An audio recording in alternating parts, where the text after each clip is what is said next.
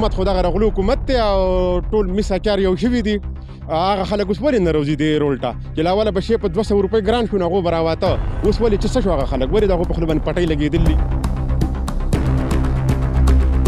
وړه ګران دي چینی ګران ده غوړي ګران دي ها دیالي شو یعنی کم ده کله یې کله نه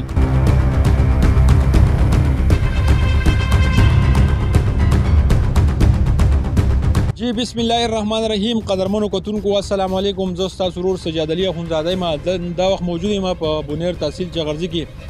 څنګه چې تاسو ته پته را ټول مل د منګایې شکار دی ډېره زیاته منګایي د غریب سړي ګزاران پکې ډېر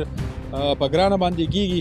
نن د اوړو تروړې کم ریټ شو نو په 3200 روپۍ باندې او 3200 روپۍ باندې دا چې وړو ته وګوره کم ضروری سامان چې دی د خوراک سکاکو هغه ډیر زیات ګران دی دوايانو ته وګوره هغه ډیر زیات ګران دي یعنی دا یو شیز نشته چې هغه ځان دی او خاص کر چې کم دیاړی والا خلک ته 600 1000 روپۍ دیاړی علي نو هغه به تاسو سوچ کوئ کم کم شي علي دلته کې زموږ سره د تحصیل چغرزي کوم عوام د هغه سره به خبرې کوو چې هغه په دې حواله باندې څه ویل غواړي راځئ موږ سره السلام علیکم وعلیکم سلام سجاد بھائی تاسو ډیره مننه چې رااله د ګرانې په باره کې تاسو لاس اواز اوچت کو نو دا خو ډیره ګرانه ګرانی ده او ډیره ګرانه ده نو چې دا عوام لم تکلیف ته او هر چا ته تکلیف ته نو دې په باره کې زموږ مشرانو ته دا اپیل دی چې دوی موږ له څه وکړي ستاسو په خیال نمینګایي د چا د لاسه د پی ډي ایم د حکومت تر کار چا نو دا خو بل ته پته نه دغه خو موږ ته پته نشي چې ته لاسه ګرنه دا اوري ها منګای ډیره زیاته ده ډیره زیاته نو بس عوام ته دا اپیل دی او چې دا روچت شي او خپل ته حکومت نه اپیل وکړي چې دا ګراني موږ ته ارزانه کړي کېږي نشته سخته مهنګاي ده ها څه څه ګران دي اوړه ګران دي چینی ګران ده غوړي ګران دي ها دا دیالي سو دیالي کم ده کله یې کله نه ها گزاره و سوا اته سوا نو بس گزاره کو قرضداري جوړ دي څه بکی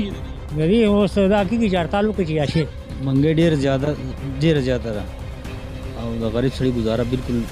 مشکله ده نور ها سودا راغلی وم ریټونه ډېر سخت ګران دي وړه په دوه نیم زره په شپږ سوه روپۍ څلور دړه توړګی ده او په پنځه سوه روپۍ چینی دړی ده داسې هر شی زموږ د غریب سړي د اغستو نه وتی دی اجي قدرمنو کتونکو دلته را سره د پیپل پارټۍ سابقه کاندیدټ د تحصیل چغرځي ولاړلې دا غسر به هم خبرې کوو د منګای په حواله چې دوم په پی ډی ایم کې دي آیا د منګای بسکی کی ډیر زیاته ګرانی ده جی نو سجاد صاحب زه ستاسو ډیره شکریا ادا کوم خو خبره دا ده چې منګای چې ده کنه دا خو پالمې دنیا کې ده لکه څنګه چې د عمران خان حکومت او چا به تپوس کوو هغه به هم دا سوال ورکوه جواب به یې خو پاکستان کې سیلابونه راغلي تاسو ته پته ده چې تقریبا نیم سیلاب دغه چې د پاکستان د سیلابونو په ضد کې و د هغې به وجه مهنګایي ده انشاءالله دوه درې میاشتو کې به الله پاک کنټرول کړي نو غریب سړی چې نو فریادونه کوي ډیر زیات وړم ګران دي چینای ته وګوره دوایانو ته وګوره پر روستو روز باندې دا کیږي نو آیا تاسو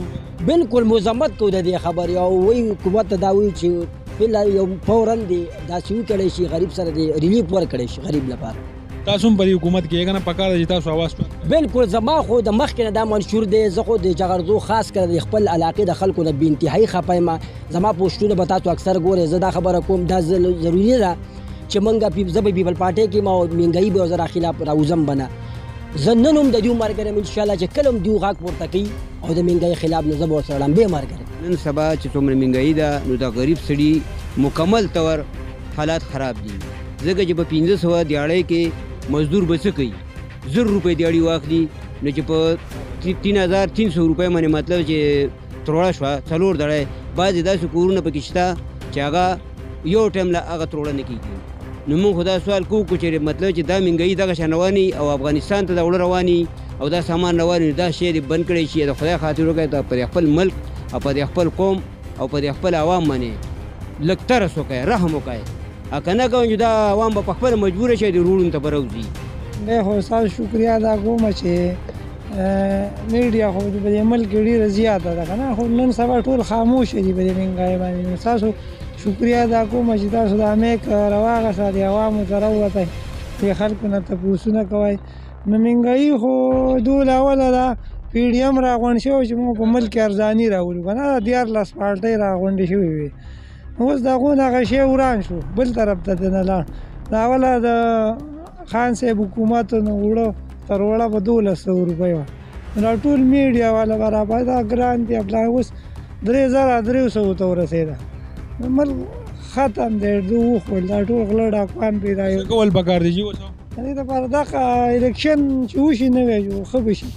اوس دا نه دا حکومت چې دی نو دوی د یو مر سره نه معاهدې کولی شي او نه ولس ته قرض دار ورکړي والا باندې به څه ویل غواړی وړم ګران دی چینیم ګرانه ده غوړیم ګران دی روزمره چې کوم سامان دی ډېر زیات ګران دی څه به ویل غواړی سجاد به یې زه به تا ته په لنډو باندې دا ووایم چې مخکې په دې مارکیټ کې خلک راوته ځان ته به جماعت اسلامي والا جماعت علما والا هغه هر پارټي سره تعلق وو اوس خلک ولې نه روزي اوس ټول چل غریب ته دی اوس ته وړو تروړه په 3300 باندې شو ا د غریب ګاډي 300 800 900 روپۍ ده نو په دې کې باغره وړو تروړه په سورو کې ګټي حکومت ته څه پیغام ورک حکومت خو دغه رغلو حکومت ته او ټول مساکار یو شوی دی هغه خلک اوس ولې نه روزي دی رولټا چې لا ولا بشي په 200 روپۍ ګران شو هغه براواته اوس ولې چې څه شو هغه خلک ولې دغه په خپل باندې پټۍ لګېدلې او لری ګرځي وسه ولې غلي شوی دی احتجاج مې احتجاج ورکړ نو ولې به نه کوو موږ خو وایو چې زموږ د مشرانو خوښه ده چې هغو کله اعلان وکړو موږ به رول ته وځو قدرمنو کتونکو د منګایي خلاف کوم خبرې چې وی هغه تاسو اوریدي د عوامو یقینا چې ډیره زیاته منګایي ده په ملک هر شیز ګران دی د غریب سړي گزاران پکې چې دینو ګران ده چې گزارو کی یقینا حکومت لا پکار دی چې د منګایي باندې زر تر زر کنټرول لاولي او کم دا روزمره کم د ضرورت سامان چې دا خامخا ارزان کی یقینا چې دا خبرونه به تاسو غوښه شوی وي خپل کوربه سجاد علي اخونزاده لور کې اجازه په لوی الله مسپارم پاکستان زنده باد د لوی الله په امان